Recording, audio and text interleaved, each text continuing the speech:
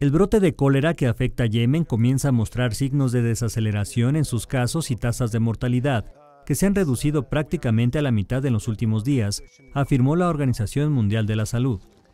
Al cumplirse dos meses del inicio del brote, Hamed Soiten, enviado de la OMS para la emergencia en Yemen, precisó que hasta ahora el cólera ha matado a 1.400 personas, mientras que se han registrado un total de 218.000 casos.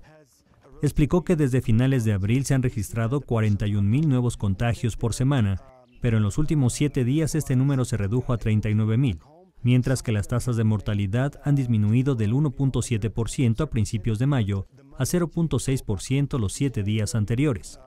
La OMS ha advertido que el número de casos de cólera en Yemen podría llegar a los 300.000, por lo que ha exhortado a la comunidad internacional a brindar ayuda inmediata para evitar una catástrofe humanitaria.